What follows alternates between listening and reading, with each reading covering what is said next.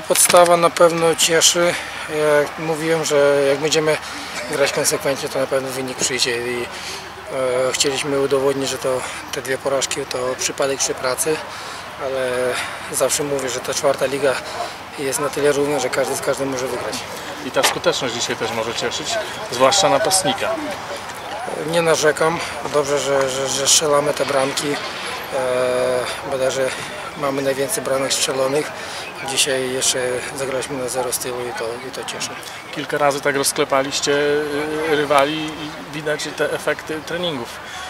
E, Mam takich zawodników, którzy potrafią grać w piłkę i nie patrząc nawet na, na, na boiska, na których gramy, no nie zawsze to super, super e, trawa, super e, e, boisko, ale też staramy się, e, szanujemy każdego przeciwnika, szanujemy też e, warunki, w, których gramy, i, ale też e, znamy swoją jakość.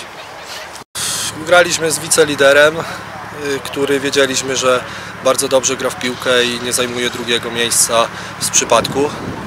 Myślę, że mecz ustawiła pierwsza bramka, strzelona w pierwszej połowie, gdzie drużyna, związownicy grała bardzo dobrze, przede wszystkim grała piłką i jakby nas zdominowała. Y, No do przerwy 1-0 słusznie wygrywała. No w przerwie sobie powiedzieliśmy, że będziemy walczyć i chcemy uzyskać jak najlepszy rezultat dla nas. No niestety później y, po błędach straciliśmy drugą i trzecią bramkę, no i praktycznie było po meczu. No trochę jest nam przykro z tego powodu, no ale to jest piłka, gramy dalej. Jeszcze mamy przed sobą następne mecze, także myślę, że wyciągniemy wnioski i będziemy je wygrywać. No teraz mamy bardzo ważny wyjazd derby do Sanoka, także myślę, że tam też pokażemy swoje oblicze i wrócimy już na właściwe tory. Dziękuję.